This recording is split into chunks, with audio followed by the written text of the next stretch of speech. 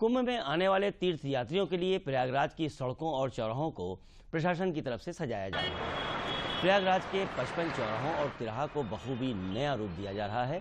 आने वाले तीर्थ यात्रियों के लिए प्रयागराज को एक अलग प्रकार की तस्वीर प्रदान की जा रही है। हर चौराहों पर श्रद्धा, संस्कार और शौर्य का परिचय देते हुए अलग अलग मॉडल और मूर्तियाँ लगाई जा रही हैं। संगम पेट्रोल पंप पर लगाई गई समुद्र मंथन की मूर्ति और फायर ब्रिगेड चौराहा पर संगीत में नृत्य करते कलाकार हॉट स्टेप चौराहे पर लगा गया शंख और मछली का मॉडल अपने में अलग छटा बिखेर रहा है, जिससे उन चौराहों की पहचान उस मूर्ति के द्वारा हो जाएगी।